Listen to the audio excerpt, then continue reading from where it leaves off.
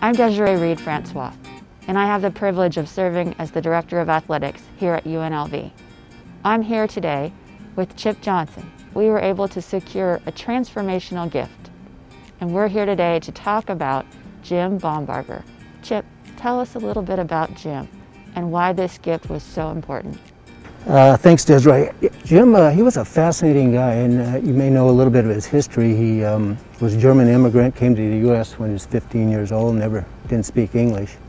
Uh, his father was killed in uh, World War II, but he learned a lot of lessons at a young age and um, came to Vegas. I've known him for 40 years as friends and business associates, and um, but he um, he loved the Rebel basketball. That was his connection with the community here, and um, uh, he was uh, very entrepreneurial, just a very nice guy, one of those kind that you, the person you meet right away, you like them, they like you right back.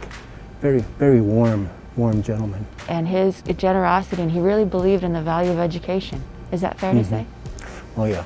Again, he saw athletes as self-reliant, self-starters, uh, hit the door running kind of attitude, and uh, so with this Jim Baumberger endowment, there's no university that has done anything like this and this huge and that magnitude for the education of men and women's basketball players.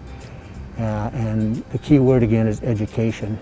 Um, so again, I think he saw the, the athletes uh, with, a, uh, with a good education uh, as a total package of talent and uh, great um, um, community members and role models.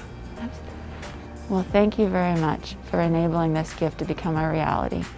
Um, we promise you and all of Jim's friends and family members that we're going to work very hard to make you all proud.